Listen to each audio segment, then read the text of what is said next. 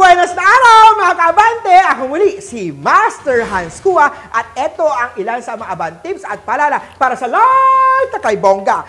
June 18, Sunday. Happy Sunday sa Year of the Rata. Sa problemang nararanasan ngayon, huwag magpatalo sa emosyon, galit na nararamdaman. Huwag kang sumuko. Activated ang Happy Family Star. Nakatulong na suporta sila sa iyo. White at 20 swerte sa rap.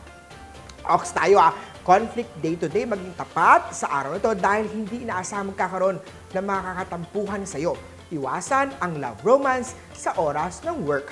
Green at 11 ang swerte sa chart. Tiger naman tayo ha, sa Family Luck Star naman, hindi masama magsabik ng kung ano-ano kay paminsan-minsan kay kaibigan mo. Maging mapili sa sasamahan mo, iwasan ang bad influence ng mga kaibigan. Green at 17 ang swerte sa chart. Rabbit naman tayo, pagdating sa Money Star at Love Life Star activated yan, magandang kalusugan ang pangalagaan ito. White at 9 ang swerte sa chart. Dragon tayo, may mga changes sa plano mo at ito ay makakabuti sa iyo. Sa health naman, iwasan ang masyado at sobrang pagkain ng matatamis na pagkain. Yellow at 1 ang swerte sa chart. Sa snake naman tayo, mahihirapan ka mag-move on on the past dahil naging party na siya ng buhay mo. Mas basta piliin ang laging paging tama. Sa Money Law Star activated, makakaranas dahil mga may mga bills na dapat bayaran. Peach at 5 ang swerte sa chart.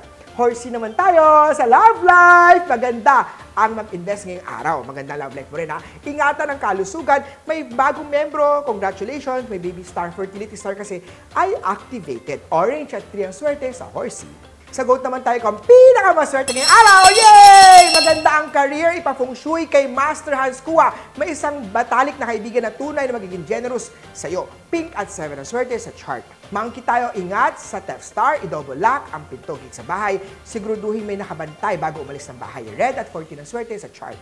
Rooster naman tayo tandaan lagi na walang ibang makakapagbago sarili mo kung hindi sarili mo makakatulong dyan. Maroon at 10, magpa-astrology reading kay Master Hans. Doggy naman tayo, huwag mo nang hayaan mawala pa siya sa'yo. Sundin at gawin ang mga bagay na nakakagusto o gusto niya. May mga unexpected opportunity or career activated sa doggy, aqua at foreign swerte sa chart. Pigi naman tayo, magaling siyang magpaikot ng isang tao. Bad influence na kaibigan ay dapat iwasan. Sa trabaho naman, iwasan ang toxic o paggawa ng mga issues.